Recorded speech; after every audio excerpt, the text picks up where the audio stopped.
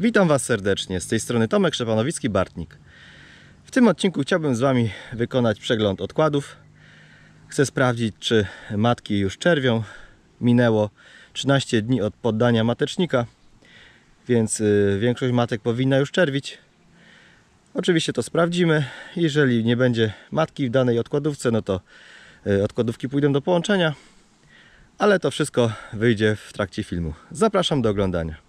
Jak zwykle nie jestem wyrobiony z pracami stolarskimi. Mam jeszcze nieskończone odkładówki, niepomalowane. Daszki też nieskończone. Musiałem tak prowizorycznie zabezpieczyć każdą odkładówkę. Wykonałem 41 odkładów. Yy, Mam jeszcze do wykonania około 12-13, żeby wszystkie 54 rodziny miały swoje odkłady. Przez to, że mam szerokie tutaj podstumenty, no to mogę sobie je tutaj zmieścić.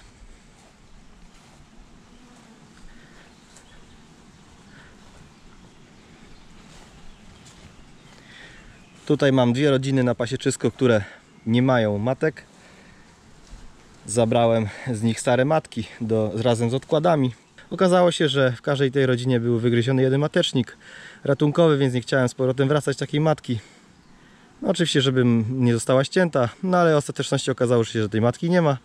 No i ta rodzinka, i ta rodzinka yy, nie ma matki, ale połączę je tutaj z odkładami, tymi dwoma już są przybliżone i spokojnie te mateczki z odkładów będą rozwijać te rodziny, żeby te dalej przyniosły pożytek.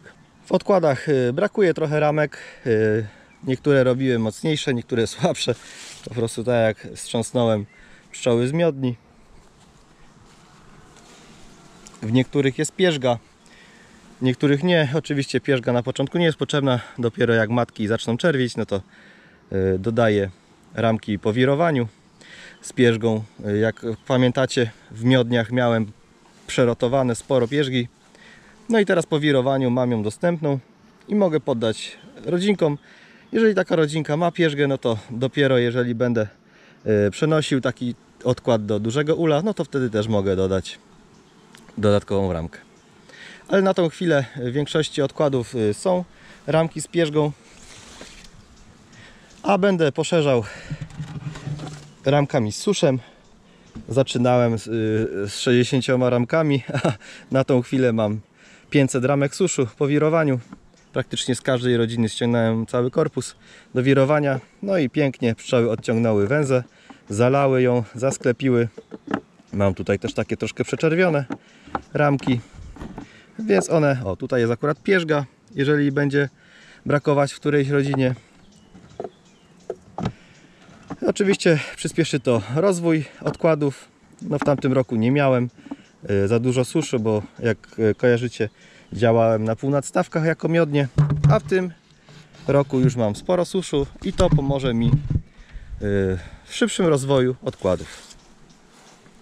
Dobra, zajmę się teraz tymi dwoma odkładami i zobaczymy, czy matki w nich czerwią. Jest dzisiaj dosyć ciepło. Ciężko pracować, ale muszę to sprawdzić, żeby być pewnym, czy przypadkiem nie będzie coś do połączenia. No tutaj akurat brakuje ramek. Była dodana węza. Ta węza jest troszkę ruszona, widzę.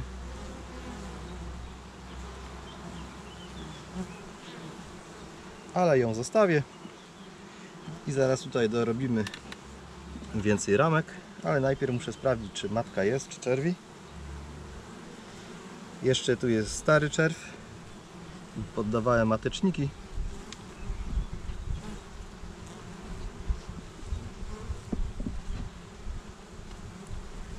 Tu jest lżejsza ramka, więc tutaj coś powinno być. No i pewnie są jajeczka, są już podlane larwy więc jest super. Może gdzieś matkę zauważymy.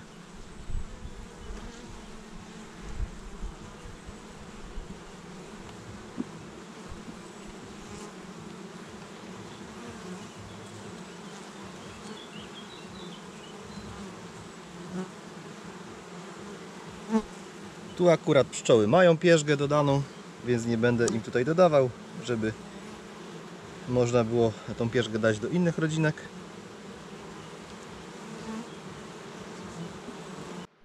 I matka gdzieś mi umknęła, ale nie szukam jej na siłę. Y, Jest, są jajeczka i to jest dla mnie najważniejsze. Dołożę tutaj jeszcze dwie ramki suszu.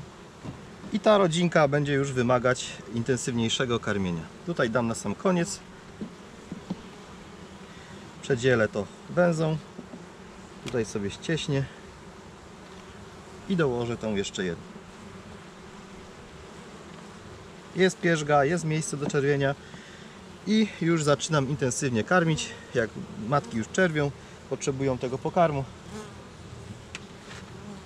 Oczywiście w taki sposób, żeby nie zalać gniazd. Trzeba będzie po prostu przeliczać ile potrzeba nowych chów ramki czerwiu i tyle po prostu trzeba będzie dawać pokarmu. Dobra, jestem przy kolejnym odkładzie.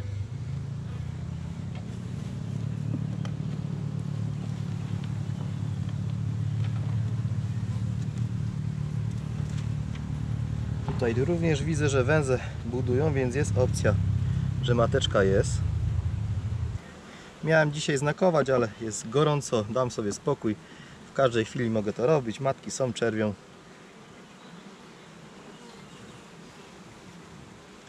No i jest sporo jajeczek. Praktycznie cała ramka zaczerwiona, już widzę larwy się wykluwają, więc jest super.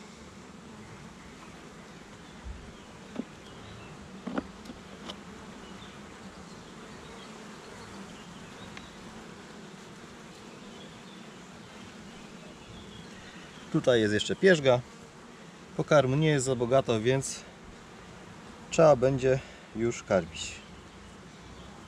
Jest u mnie taka dziura teraz pożytkowa. Skończyła się akacja. Pszczoły latają na koniczynę białą, ale nie jest to jakiś duży pożytek. A pasuje, żeby te odkłady y, się rozwinęły ładnie i ewentualnie jeszcze mogą przerabiać pokarm na zimę. Dobra, tutaj również nie szykam matki na siłę. Są jajeczka, pszczoły się rozwijają i tutaj również dodaję dwie ramki suszu. Oczywiście bez suszu jest bieda, bo pszczoły nam dłużej się rozwijają. Pokazywałem Wam to w swojej serii filmów. Również chciałem to pokazać pod względem początkującego. Nie dodawałem suszu, tylko węzę ale mimo wszystko i tak rodziny się fajnie rozwinęły, więc jeżeli dodajemy susz, no to ten rozwój będzie jeszcze szybszy.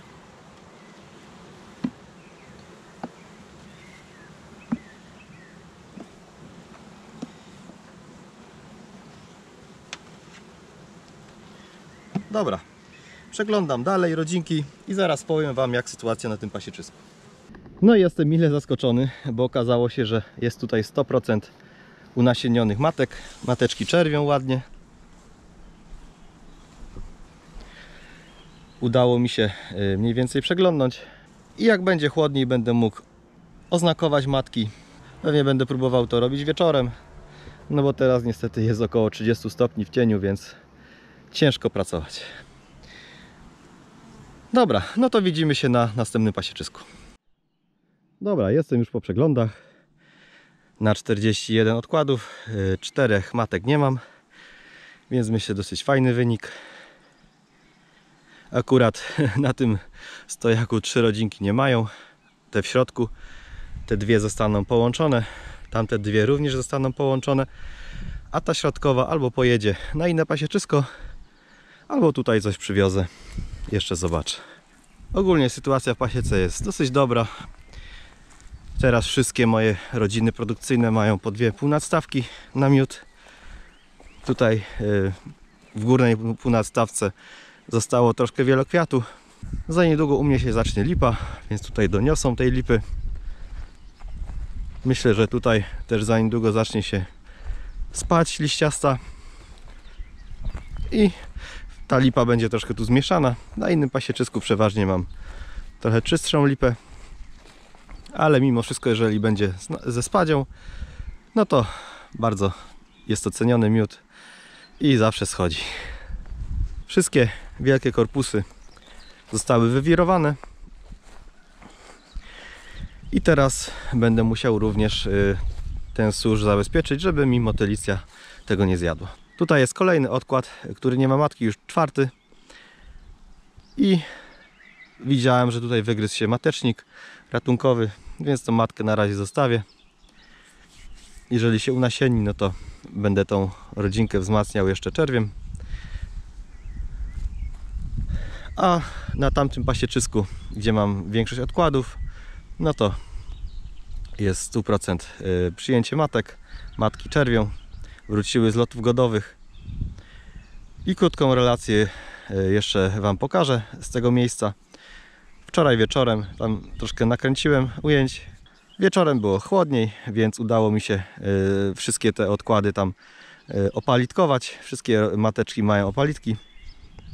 Jest tam w sumie 17 sztuk.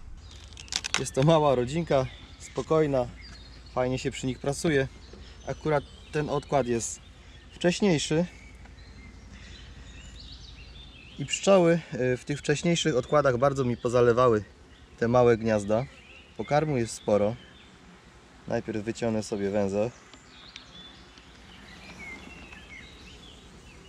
No, na razie tutaj nie ma jajek, ale patrzymy dalej.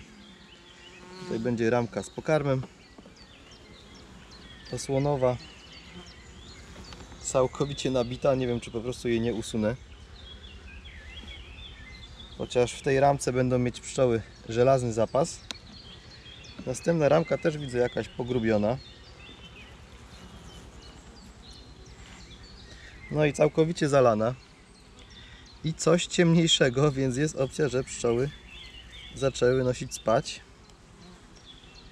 No Ale któraś z tych ramek pójdzie jednak do usunięcia.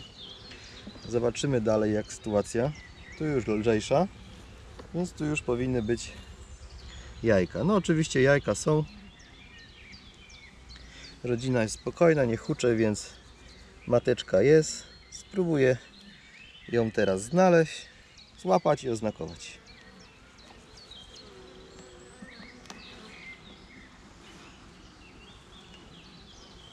No, kolejna ramka lżejsza, więc ramki z pokarmem zostawię. Pięknie zajajczone. No jest mateczka.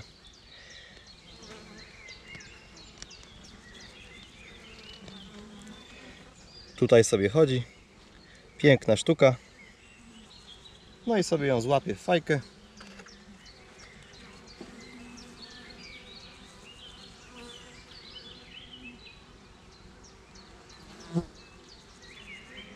Ok. Ramkę sobie odłożę. No i mateczka idzie do y, tłoka takiego do oznakowania. Piękna, czarna alpejka. No i przygotuję sobie teraz opalitek. Będzie tutaj numer 10. Oznakowuję tak jak są odkładówki, bo i tak czasem w rodzinach produkcyjnych mi się to miesza. Wcześniej robiłem tak, że starałem się rodzinę produkcyjną mieć opisaną tak jak numerek ula, czyli mateczkę też, żeby miała taki sam numer, ale to ciężko jest y, zrobić, bo czasem matka jakaś nam odpada, czasem zginie. No i później musiałbym mieć kilka zestawów opalitków. No i teraz ją sobie tutaj dociskam, smaruję jej grzbiet. No i mam tutaj zapałkę i śliną moczę końcówkę i nakładam numerek. Troszkę podmucham, żeby klej wysechł.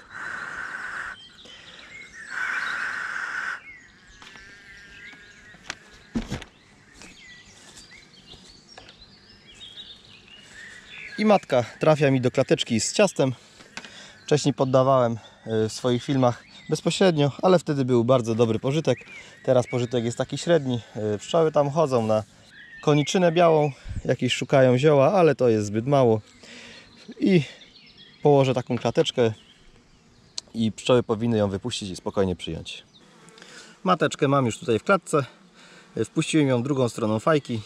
No i teraz przesuwam sobie w tą stronę y, zabezpieczenie, żeby nie odbezpieczać tego, nie psuć klateczki, a pszczoły wyjedzą tutaj to ciasto i wypuszczą matkę.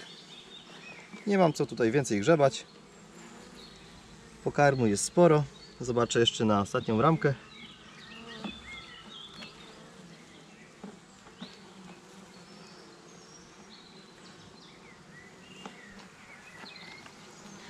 Tutaj też nabita pokarmem.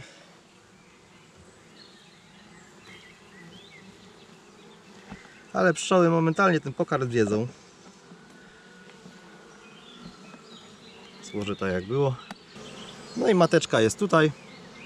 I kładę teraz klatkę odwróconą tutaj w uliczkę, żeby pszczoły wyjadły ciasto.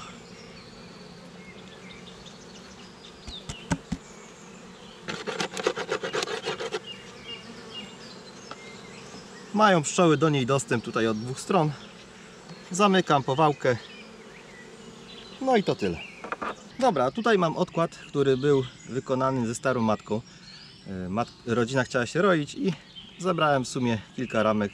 Tam dwie ramki z czerwiem i matkę. Dodałem trochę suszu. Pewnie jest wyzalewana również. Ale tą matkę e, im zabrałem, dałem z powrotem do rodziny produkcyjnej, jak minął nasój rojowy. No i ta rodzina pewnie będzie silniejsza. Jeżeli tak, no to będziemy już ją przekładać do dużego ula.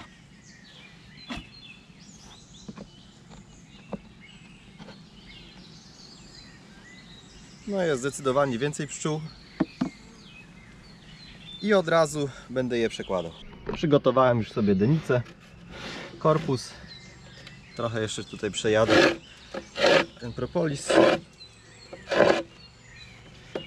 No i teraz będę przekładał. Mam już wkładkę włożoną denicową. Muszę się jakoś dostać do tego gniazda. Ramki są wyzalewane.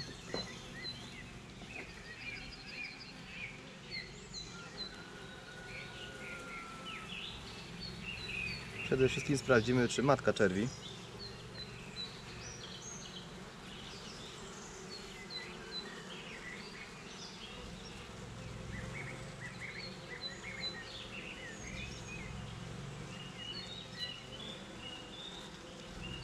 Są jajeczka. Mam nadzieję, że to nie trutowe. Jest parę komórek czerwiu trutowego.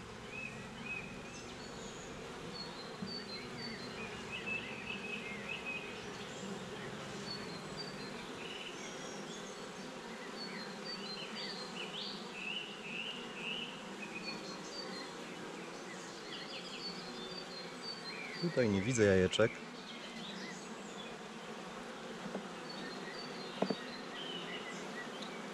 Pszczoły huczą.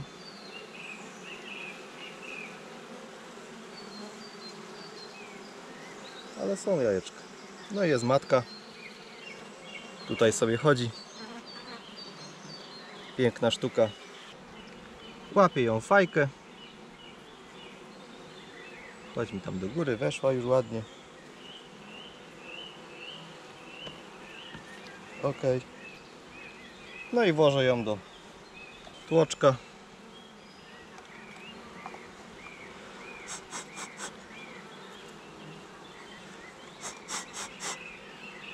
Już mi tutaj siedzi. A ja sobie uporządkuję teraz tę rodzinkę.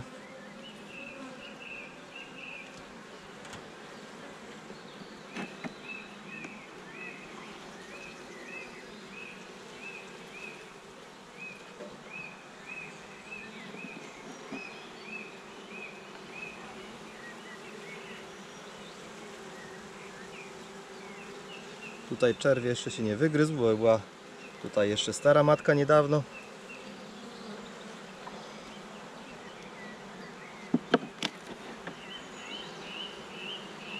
No ale rodzinka jest już ładnie zalana. Ma pokarmu. Dołożę jeszcze dwie ramki suszu. I matka będzie już miała sporo miejsca. Okay.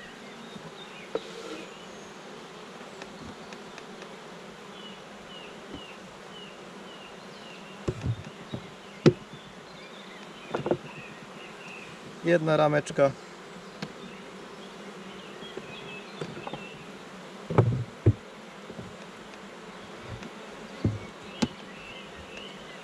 I od razu dodam drugą. Tylko sobie troszkę zsunę. Tutaj na drugi kraj.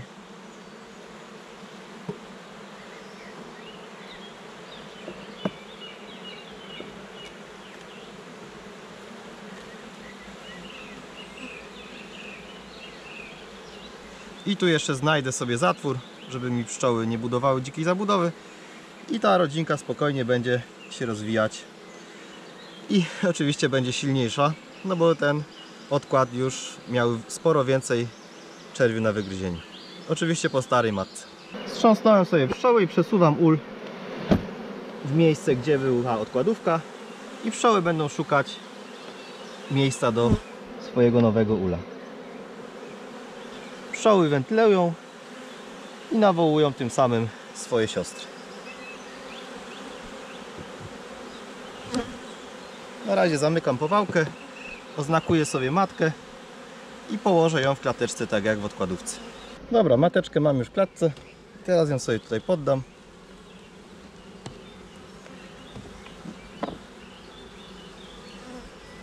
Pszczoły wyjedzą ciasto i wypuszczą matkę. Oczywiście wkładam matkę do klateczki, żeby zmniejszyć ryzyko, że pszczoły ją zetną, bo kleję na kropelkę w żelu. No i ten zapach jest taki dosyć intensywny. Zanim klej wyschnie, no to pszczoły wypuszczą matkę, no i nie zostanie ona ścięta. Dobra, przeglądałem już to pasieczysko. Wszystkie matki yy, czerwią wróciły z lotu. Yy, Niektóre rodziny wymagają już podkarmienia, bo były wykonywane odkłady później. Niektóre były wcześniej, tak jak widzieliście ta rodzina, która została już przełożona do dużego ula, no to ona miała sporo pokarmu, bo tej pszczoły było więcej. Matka tutaj stara czerwiła. Udało mi się praktycznie tutaj wszystkie matki oznakować. No jutro sobie skontroluję, yy, czy pszczoły wyjadły ciasto. No i odbiorę te klateczki i będę mógł oznaczyć yy, na kolejnym pasieczysku. Dzisiaj jeszcze będę musiał odymić yy, apiwarolem. W niektórych rodzinach jest trochę czerwi, bo e, jeżeli matki starsze czerwiły, to jeszcze ten czerw się nie wygryzł, ale większość tutaj rodzin to e, cały czerw się wygryzł i jest czerw otwarty, więc spokojnie mogę odymić pszczoły jedną tabletką. Będę mógł tutaj przez wlotek w odkładówce wsunąć e, jakieś, jakąś nakrętkę, na przykład po musztardzie i na niej położyć tabletkę apiwarolu i spalić. No oczywiście nie sprawdzę ile tam się osypało, ale myślę, że pszczoły wyniosą ten osyp i e, w sumie rodzina będzie troszkę oczyszczona z tej warozy. Jak wiecie, ja preferuję e, pod, podkładanie mateczników. Oczywiście sam wychowuję matki, do tego również Was jeszcze raz zachęcam. Macie na bieżąco swoje mateczki. E, Matka się wygryza z matecznika, jest od razu przyjęta. Ja zostawiam taką matkę do momentu nasiennienia. Matka nie jest oznakowana. Wiadomo, jeżeli ma opalitek, no to będzie bardziej widoczna. A ja sobie teraz na spokojnie oznakowuję i poddaję w klateczce. W jednym ze swoich filmów y, też pokazywałem jak oznakowuję. Y, link będziecie mieć w prawym górnym rogu ekranu. I poddaję matki w klateczkach na ciasto, żeby oczywiście nie zostały ścięte, bo jednak klej kropelka e, troszkę śmierdzi. No i ten klej szybko wyschnie. Zanim pszczoły e, wypuszczą matkę, no to będą ją tutaj karmić przez te dziurki. No i w sumie, e, tak jak mówiłem, przesuwam tą zasuwkę, żeby nie wyłamywać zabezpieczenia. I ta klateczka posłuży mi na inne rodziny. Dobra, to tyle w tym filmie. Dzięki wielkie za oglądanie. Do zobaczenia, cześć.